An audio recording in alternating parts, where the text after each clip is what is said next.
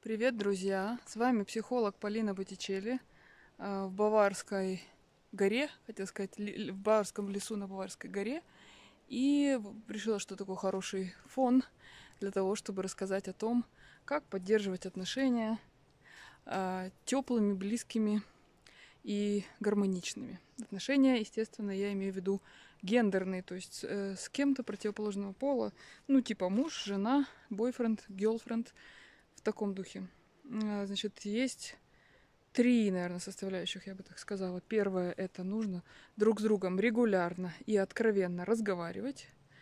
Второй э, вариант – это регулярно вместе проводить время. Не просто разговаривать, а чем-то заниматься, какие-то совместные интересы должны быть или что-то. И третье – это хвалить друг друга. Хвалить друг друга, чтобы отношения были гармоничные, нужно примерно в 10 раз больше, чем критиковать. А, а лучше больше. Вот. Я думаю, здесь э, можно ничем не пояснять. А вот насчет э, беседовать, хочу еще такой момент сказать. А, важно говорить, вот сели вместе, и вместо того, чтобы фильм смотреть, сначала пообщались. Как у тебя прошел день, дорогой? Как у тебя прошел день, дорогая? Рассказываем, что волновало, что волнует сейчас, через что, э, ну, я рассказываю, например, мужу, через что я прохожу, о чем я думаю, там, о своих целях, о своих клиентах. Э, конечно, подробности про клиентов я не рассказываю, но я могу сказать, там, меня тревожит, что клиентов там стало меньше или что-то в этом духе.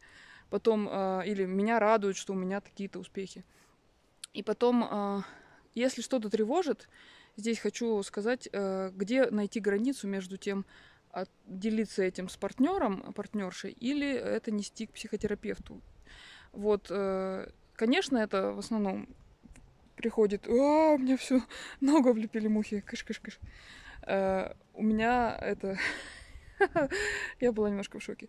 Это приходит с опытом, uh, вот. Но могу сказать, что что пришло мне с опытом, может быть, как-то поможет это вам, что бывают моменты, когда беспокоит что-то в настоящем, и тогда мы, конечно, спокойно можем делиться этим uh, с партнером, партнершей, обсуждать это, разговаривать, просто просить поддержки, просто сказать, например, я просто хочу, чтобы ты меня выслушал, мне трудно, мне нужно выговориться, или я сомневаюсь, или я в замешательстве, ну, в общем, что угодно.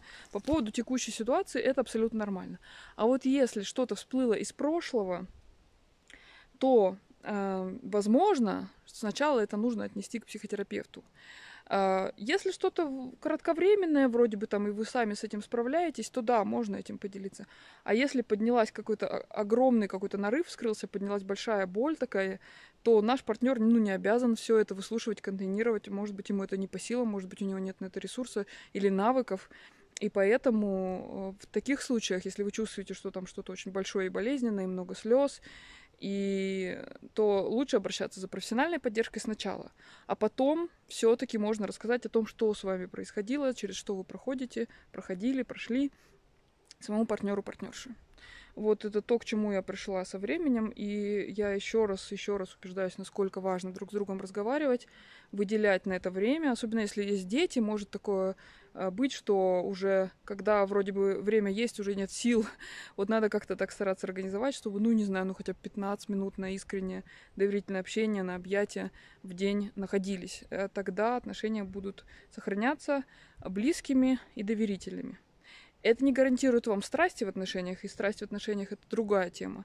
Здесь я говорила именно про поддержание эмоциональной близости э, и вот этой гармонии в отношениях, да. Но страсть тоже одна из составляющих гармонии, и про поддержание страсти, может быть, расскажу как-нибудь в следующих видео.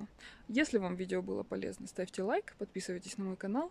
С вами была психолог Полина Боттичелли. Всего доброго, любви вам!